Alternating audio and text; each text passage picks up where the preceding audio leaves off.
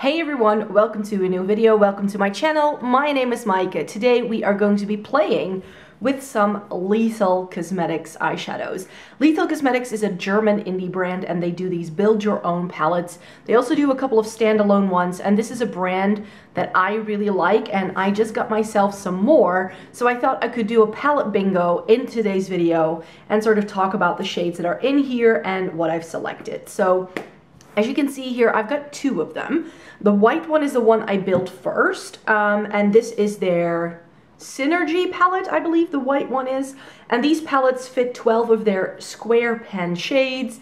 And I already did a video with this. I did a get ready with me last February where I used these shades. So I'll make sure to link that in the eye above. But by now, I've also gotten around to reviewing this on my blog. So I will make sure to link the full review in the description, description box down below where you can see swatches and three more looks with this palette. So I always forget the names of the shades in these palettes. I'm terrible, um, but I will make sure to list them in this order. So starting here, here, and then here and I will make sure to put that in the description box. Yeah, because I loved the shades in the white palette so much, I decided to build myself another one I put it in the black palette when they restocked.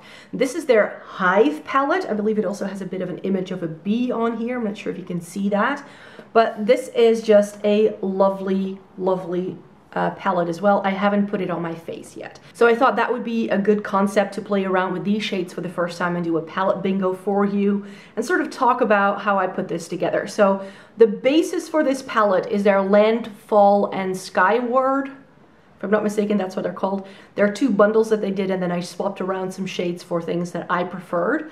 Um, and uh, so yeah, let me uh, go and select some shades from this palette now let's get this make it look going.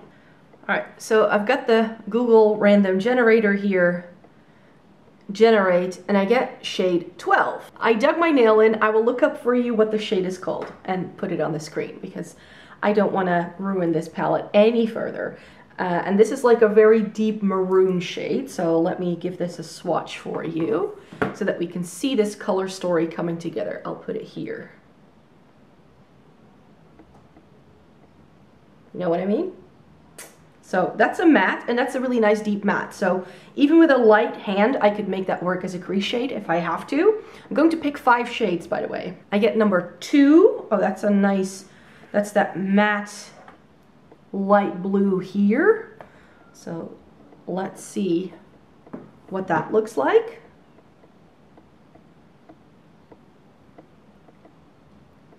So there you have the matte blue. And then we're gonna hit generate again. I get shade 10, which is another blue. That's this one. And this is a matte as well. Ooh, let's hope we get a shimmer too. So that was number three. I get number one, which is a shimmer, yay! So I get this really pretty purpley shade as a shimmer. Ooh. It's a bit deep for me for over the lid, perhaps, what for my preferences, but hey, if we can make do with that, like this on the top lash line and this, this on the lower lash line. One more. And we get shade nine. Oh, that's the green. Hmm. so that's this deep, like khaki green shade. So we only have one shimmer, so that's gonna go onto the lid. So now, ooh, Whoa. Whoa, look at that. Let me see how far I can pull it down. Oh, wow. That is an amazing shadow. Okay. And this is the color story that I'm going to be playing with. All right, so I have an idea of what I would like to do, and I just thought I could uh, chat to you a little bit as we were doing this eye look. So I'm gonna zoom you in, and then I'm just gonna talk you through what I'm doing and all that. Usually I speed through my looks, but because it, this is the video, I'm just going to talk to you while I do my eyeshadow. Right, so I've zoomed you in, and I'm going to be starting as usual with a MAC 217, and I'm going to put, I just think I'm just gonna go in with that blue shade. That's gonna go into the crease. That's, uh, I think, the best one to start off with. So let's see, ooh, that's very powdery when I stick my brush in. So yeah, this is sort of like, not exactly a first impression because I've worked with Lethal Cosmetics shadows before, but not these shades that are in this palette. And yeah, I just really, really fell in love with the shades in the other palette, which is why I was like, when they restock, I just, I just need to get some more. Rather than like fluffing them on, I've been really sort of like stamping them. And that I feel gives them a lot more vibrancy um, because I've been using a lot of vibrant shades this month, which has been a lot of fun. So just sort of like to lay the color down. Yeah, so Lethal Cosmetics has very quickly made its way into like my top 10 favorite eyeshadow formulas and the fact that they're a European based indie brand is just, I mean, to me that's just the best news ever because it makes it easier for me to get. They do free shipping after, I think it's 65 euros, which sadly one of these palettes retails for 59.95, I believe. Um, so it helps if you get like one extra shade that you can then put in another palette because at least you'll get the free shipping and you know you get an, another eyeshadow because getting the shipping or getting one more eyeshadow that's like one euro difference. So to me what I did when I bought this palette is that I bought another shade which is like a really deep cool toned like charcoal gray shimmer um, because I'm currently working on building a custom cool toned eyeshadow palette um, with like some neutrals and I thought it could be perfect for that. But when I was sort of like, when I had all the shades and I had 13, so I played around with it as well. But maybe sometime I might take this shade out and then put that charcoal gray shade in because oh my word, it worked so well with this color story too. And that is something that you do need to know about Lethal Cosmetics as a brand is that they have a lot of colorful shades and they have a lot of warm tone neutrals, but I feel that they don't, they, they're not very well versed in the cool tone department yet, which is what I prefer. But yeah, that's why this palette is this weird mishmash of like warm tone greens and like browns and berry kind of shades, but then with some like cool tone purples and um, some like lighter blues and greens in the mix. So I think the blues and the greens are mainly from the Skyward collection that they released, I think this fall actually. And then uh, together with that, they also did the Landfall, which is where, where some of those berries came from. Uh, but I definitely switched out like five or six shades, I'm sure. So I, I, I, think I must have switched out like five or six of the shades in that original collection. So this is definitely not that, but I sort of use that as a baseline and I've been playing around and switching around with their tool on their website for months. So I really can't tell you anymore what was originally in there and what I ended up putting in this palette uh, and why I made those decisions because it's been months. Like I had this on my wish list for such a long time, but then more and more of the shades started to you know, go out of stock. And I was like, I'll just wait until everything is in stock and then I can buy everything in one go. And I also really wanted to get the black palette so that I can actually, um, you know, tell these two palettes apart because if I were to get another white one, I would always be grabbing for the wrong thing. I'm going to be using this Zoeva Looks Define Crease Brush and that light blue shade that we pulled. I'm going to use that to further blend out that outer edge so I can bring the shadow up more towards my brow. So on camera, it always looks like I have tons of space between my brow and my, and my lid. I actually don't. For me, in real life, the color is already like up to here and that leaves me with like two millimeters of space right now, but on camera, it always looks like I've got tons of space left, which I don't. So I kind of do this for YouTube purposes because in real life, this looks a little crazy. But on camera, it looks better if I actually blend out that crease shade a bit more with a slightly lighter shade. So that's just a habit I got into because of making videos and taking pictures of looks.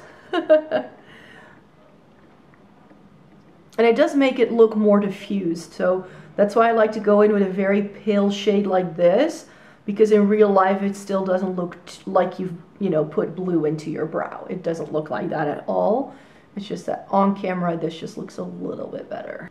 So I think that that's a nice blend on the crease. And just because I'm feeling adventurous I'm going to be putting that green into my outer V so that I can create a bit of a cat eye shape for myself. I've been playing around with so many like bright colorful shades Oh, uh, case in point, the residue that's on this uh, brush, so let me clean it off.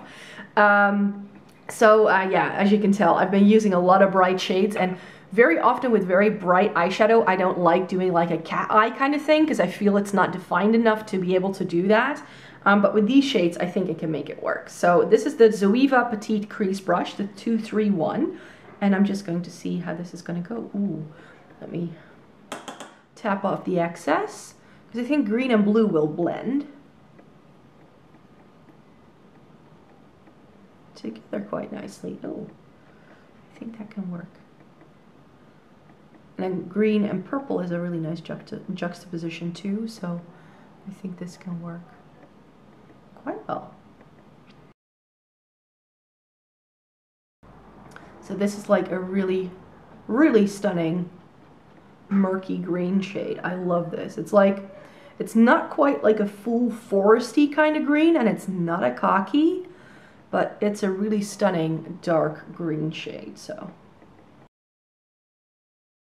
And can you just see, like this is why I fell in love with this brand, because these kind of just blend themselves without turning into a really huge muddy messy. I really like how this is giving me some definition right here in the outer corner. I'm really liking this. So now what I'm gonna do, just to make sure that I've got a nice blend, is go I'm going back to my MAC brush, and with just a little bit of product, I'm just going to put that in the crease, making sure I've got a nice blend. Um, because I feel that that always works with making sure there are no harsh lines or anything like that. And then you put some of that vibrancy of the blue back into the look as well. And I'm going to go back in with my fluffy Zoeva brush because now, of course, we need to blend this edge a little bit again just to make sure that all of those shades are nicely defined. See, and with some brands, what I find is that with a shade like this, like after you do this, you need to apply it again, like in full swing. And with this, I feel if I just go in with this flat Sonia Kashuk brush, and I just dab it on a little bit just to make sure that outer V is nice and defined. I feel that that works, whereas with some brands, you don't need to go, like you need to do this process of like applying it and blending it three times for it to show full intensity, and with this I feel it works really well.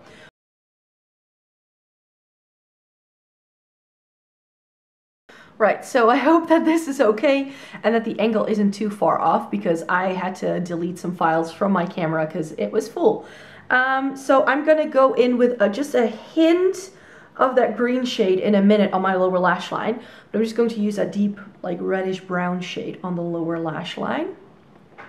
I know this freaks people out, but I sort of like to hold down my lid a little bit because else I can't get this kind of shade on.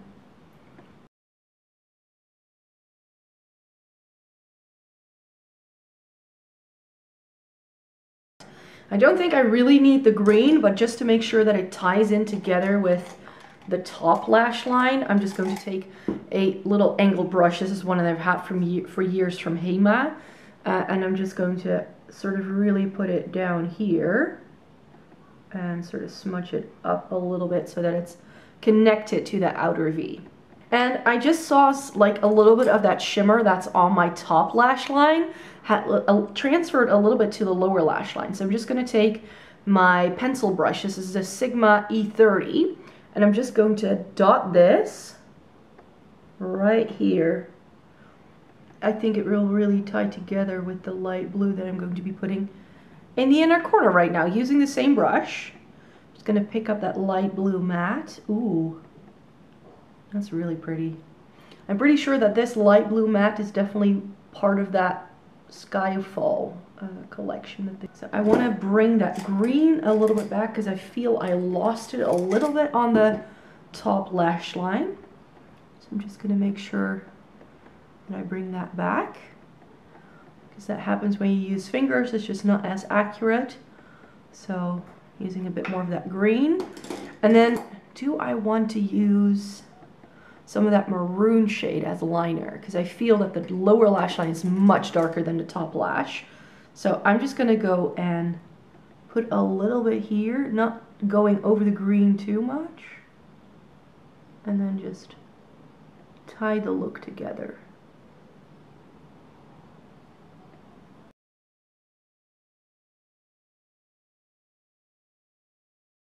Alright, so there you have it. That is my palette bingo look with these 12 shades from Lethal Cosmetics. I only used five of them, of course, because I didn't want to go too overboard. But I think it was a very successful look. What do you guys think? I really like it. I can't help it. Like, I really like how the blues and the greens and that purple shimmer just goes with it so, so nicely. I, I, I couldn't, couldn't have been happier with this look, to be quite honest. I think everything blended really nicely together, but without muddying, just great textures, great, great shimmer quality. Those mattes just blended themselves.